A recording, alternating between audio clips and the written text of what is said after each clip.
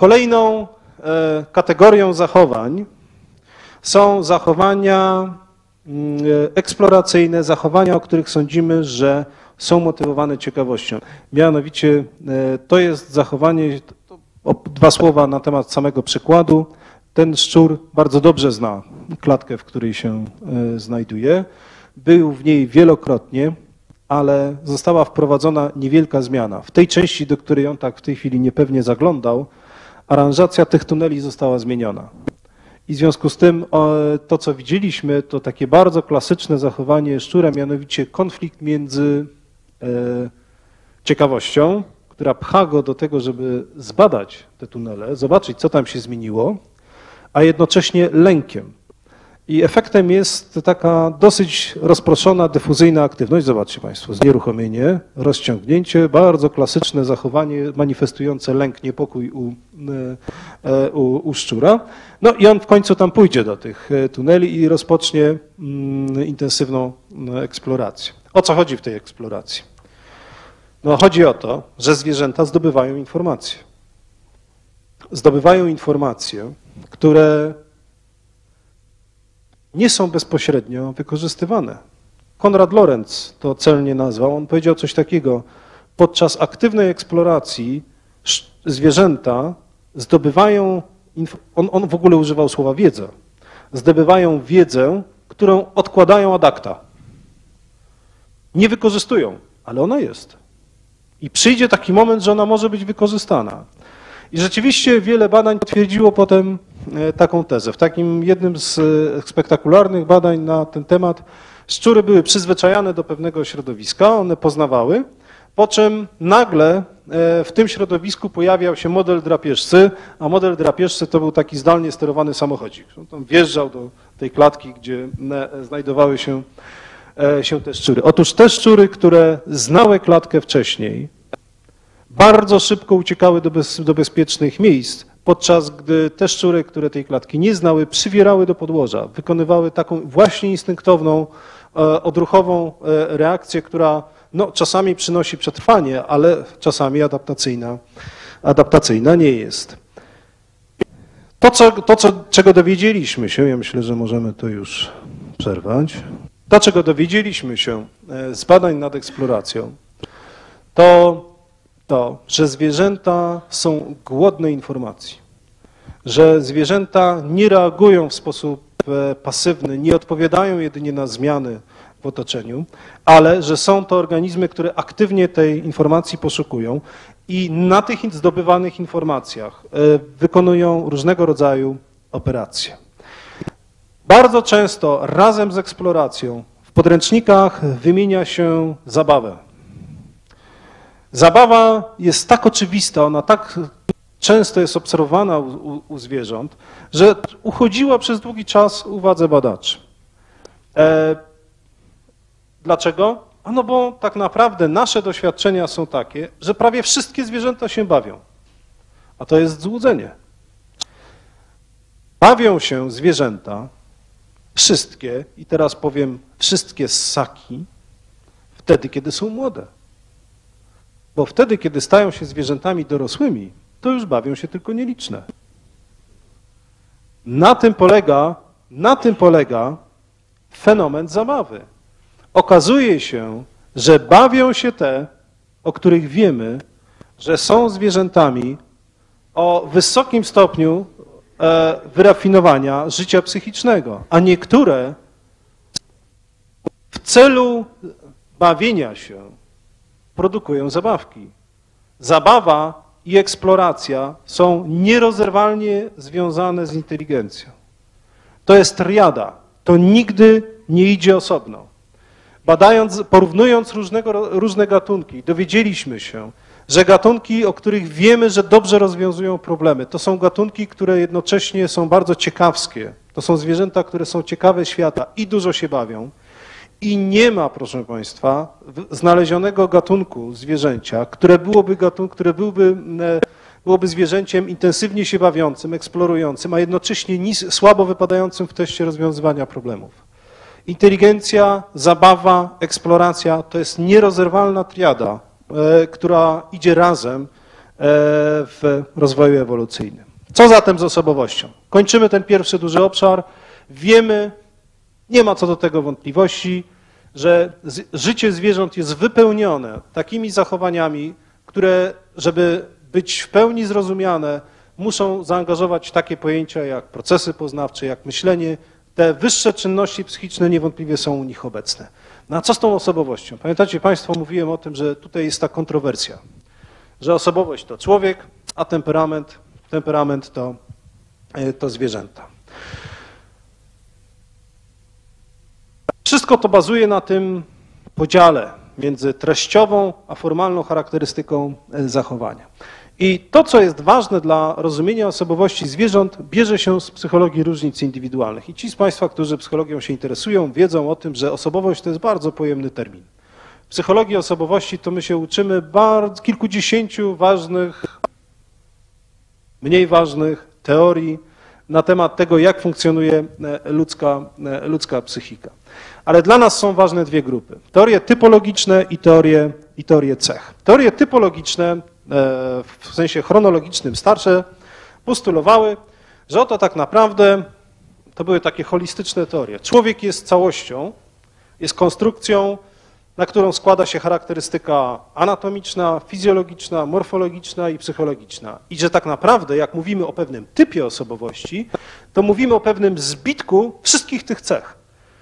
E, dlatego pewne typy, na przykład piknik, to miał e, określone cechy fizyczne i określone cechy psychologiczne. To nie szło rozdzielnie. Tym się wyraża e, typologiczne widzenie osobowości. No ale jak to sprowadzimy do nieco niższego piętra organizacji, to okaże się, że istnieje coś takiego jak cechy. Cechy, czyli takie wymiary, na których możemy charakteryzować poszczególnych ludzi, a które odzwierciedlają nam prawdopodobieństwo występowania pewnych zachowań. No jak sobie powiemy, że oto istnieje taka cecha jak poszukiwanie doznań. No to jednostka, która uzyskuje wysokie punkty, duże punkty na tym wymiarze, że jest blisko tego skraju maksymalnego, to będzie jednostka, u której prawdopodobieństwo wystąpienia zachowań no, na przykład ryzykownych, prawda, łażenie gdzieś po skałach, prawda, albo porynnie do kogoś tam, albo e, to, to jest prawdopodobieństwo takich zachowań e, e, wzrasta. No i oczywiście odwrotnie. I okazało się, że charakteryzować na tych wymiarach pod względem różnych cech możemy bardzo dobrze zwierzęta. No ale nadal psychologowie różnic indywidualnych będą się upierali, no ale chodzi o te formalne cechy, chodzi o cechy temperamentu, a nie treściowe. Z tym, proszę Państwa, już nie jest tak prosto. Mianowicie podjęto szereg, no i oczywiście ja tu troszkę skracam, my nie mamy wątpliwości co do tego, że zgodzilibyśmy się, że e, na przykład e, goryl jest wyposażony w osobowość, pewnie byśmy się zgodzili, że u muchy byśmy osobowości nie znaleźli, pewnie mielibyśmy wątpliwości co do tego, a jak jest gdzieś po środku. Ja sądzę, że gdybyśmy zrobili tutaj taki rekonesans, E, wśród posiadaczy psów e, i zapytali, czy pies ma osobowość, to e, większość właścicieli psów odpowie jasne, że tak. Ja bym się zgodził, dlatego że okaże się, że różnice między tymi psami nie dają się sprowadzić do tego, że on pewne rzeczy robi częściej albo rzadziej. Różnice między tymi zwierzętami, okaże się, będą wyrażały się tym, że pewne, że niektóre psy lubią pewne formy zabawy, a inne nie. Różnice będą miały charakter treściowy, a nie tylko ilościowy. Nie tylko to, że jeden pies jest reaktywny, a drugi nie, ale jeden pies lubi bawić się w polowanie, lubi zapasy, inny tego nie lubi. Istnieją różnice treściowe w zachowaniu. No i proszę Państwa, istnieje grupa badaczy, która podjęła próby oszacowania wymiarów osobowości u zwierząt. E, ci z Państwa, którzy psychologią się interesują, wiedzą, że w psychologii jest wałkowana, ja bym powiedział, jest wałkowana aż do znudzenia, psychologia, teoria pięciu wielkich czynników osobowości. No i przez analogię do tej teorii próbowano e, ostatnimi czasy oszacować, ile wymiarów będzie dobrze opisywało osobowość zwierząt, przy czym te wymiary dotyczą zarówno charakterystyki takiej formalnej, temperamentalnej, jak również treściowej. No i proszę Państwa, w relatywnie młodym badaniu, e, które Państwo macie pokazane na samej górze, Kinga i Figueredo, e, wyodrębniono sześć wymiarów osobowości szympansów. Ja sobie przy takiej okazji zawsze pozwalam na żart, że jeśli my rzeczywiście stoimy o tyle wyżej od szympansa, to znaczy, że to jest kolejny przykład, że ewolucja polega na uproszczeniu, prawda? E, pamiętacie Państwo z dawnych lekcji biologii, że na przykład ewolucja czaszki kręgowców wyrażała się tym, że ta ogromna liczba kości, która występuje w czaszce ryby, następnie ulegała scalaniu i ta czaszka w gruncie rzeczy była coraz prostsza. No więc tu mamy podobny, e, e, podobny przykład. U goryla stwierdzamy obecność czterech wymiarów osobowości. I proszę Państwa, różnica między szympansem a gorylem jest znamienna. Mianowicie ona dosyć trafnie odzwierciedla różnice w życiu społecznym. Życie goryli jest, reguły życia goryli są dosyć klarowne. Tam jest ten dominujący, ten, ten samiec alfa, jest ten patriarchalny system, reguły są proste, wiadomo kto rządzi, wiadomo kto jest podległy, a w grupie szympansów dominuje polityka. Tworzone są koalicje, lokalne sojusze, e, są zdrady, podchody. Innymi słowy, stopień, ja bym powiedział, wyrafinowania życia psychicznego u tych zwierząt niewątpliwie musi być nieco wyższy niż w tej ustabilizowanej rodzinie goryli. Także wiemy, że życie hien, które przecież w kategoriach zaawansowania ewolucyjnego, chociażby jeśli chodzi o układ nerwowy, stoją wyraźnie niżej od naczelnych, jest niezwykle złożone. E, tworzą, hieny tworzą niezwykle skomplikowane klany rodzinne i być może ten wysoki poziom wyrafinowania życia psychicznego jest im rzeczywiście do szczęścia potrzebny. Nie będę już dalej kontynuował. Widać, jakie, tutaj, jakie liczby czynników osobowości e, znajdowano w tych, e, w tych badaniach. Powiem tylko tyle. Grupa badaczy, którzy zaczynają sądzić, że to istnieje przedmiot badań, jakim jest osobowość osobowość zwierząt jest pełnoprawnym obszarem badań. Ci, którzy badali goryle, jak patrzymy w oczy tego młodego samca, myślę, że znaczna część osób przyzna, że oto mamy tutaj do czynienia z istotą, która e, coś czuje, coś myśli, ma jakieś treściowe ustosunkowanie do e, obiektu, który w tym momencie robi jej zdjęcie.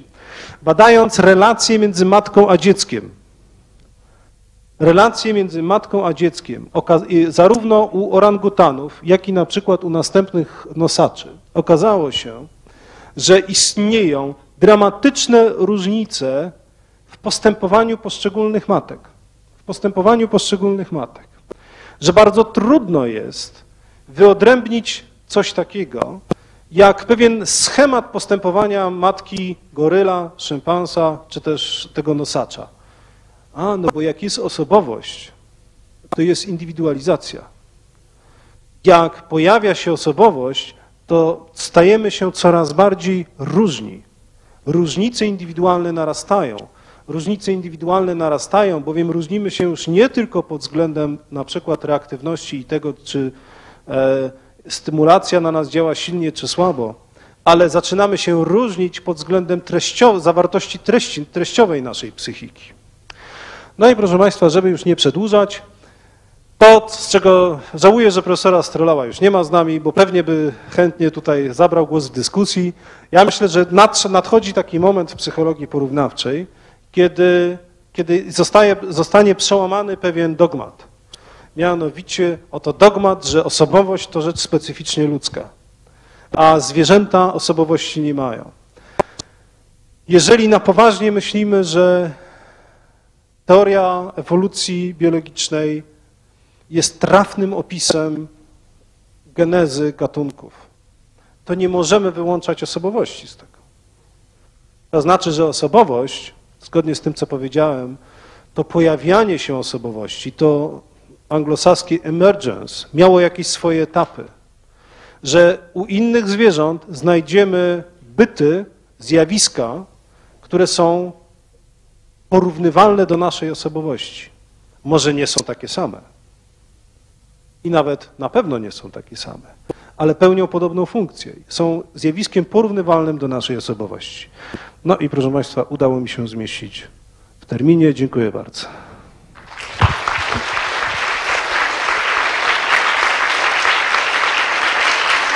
Dziękuję. Dziękuję bardzo.